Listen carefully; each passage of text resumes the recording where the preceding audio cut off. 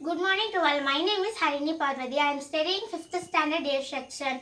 Savings account allows you to deposit your money safe with the bank. Savings account அப்படிங்கிறது என்னன்னா நம்மளோட பணம் அதாவது மணியை வந்து சேஃபாக வந்து பேங்க்ல வந்து போட்டு வச்சுக்கலாம் அது வந்து நம்ம தேவையான போகும்போது எடுத்துக்கலாம் அதுதான் savings account next current account a current account is a type of deposit account that centres to professionals and businessman current current account அப்படிங்கிறது எல்லாரும் யூஸ் பண்ணுறது கிடையாது. பிஸ்னஸ் மேன் மட்டும்தான் வந்து யூஸ் பண்ண முடியும்.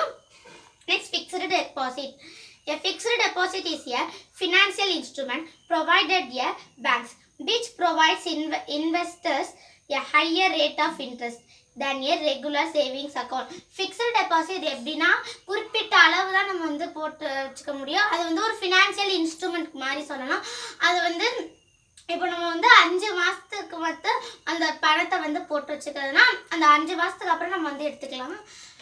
நெக்ஸ்ட் வந்து daily deposit a unique saving scheme wherein the daily income earners can park the sub sub surplus funds daily deposit அப்படின்னா இப்போ வந்து நம்ம ஒரு நாளைக்கு ஆயிரம் ரூபாய் சம்பாதிக்கிறோம்னா அதுலேருந்து ஒரு நூறுரூபா இரநூறுபா அதை எடுத்து டெய்லியும் நம்ம போயிட்டு பேங்க்ல வந்து போட்டு வச்சுக்கிறது தான் daily deposit Next check. A check is a document you can issue to your, your, your bank directing it to pay the specified um, check அப்படிங்கிறது நம்ம வந்து அவங்களோட நமக்கு அவங்களுக்கு எவ்வளோ பணம் கொடுக்கமோ அவங்க நேம் எழுதி அவங்கள அவங்களுக்கு எவ்வளோ பணம் கொடுக்கமோ அந்த அமௌண்ட்டை எழுதி வந்து அவங்கள்ட்ட கொடுத்துட்டோம்னா அவங்க பேங்க்கில் கொடுத்து நம்ம அக்கௌண்ட்லேருந்து பணம் எடுத்துக்குவாங்க Next, rate of interest. The amount charged over the above, the principal amount by the lender from the borrower.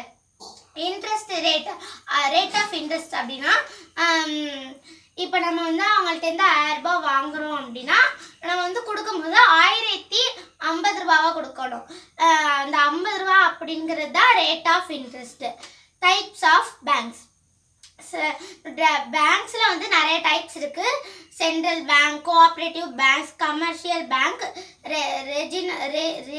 regional rural bank local area banks specialised bank small finance bank இதெல்லாம் தான் பேங்க்ஸ் டைப்ஸில் இது மாதிரி நிறைய type of bank இருக்குது next types of loans home loan home loan அது மாதிரி லோன்ஸ்லேயே நிறைய டைப்ஸ் இருக்குது ஹோம் லோன்னா நம்ம வீடு கட்டுறதுக்கு ஒரு மாதிரி லோன்லாம் வாங்கல அதான் home loan loan against property loan against insurance policies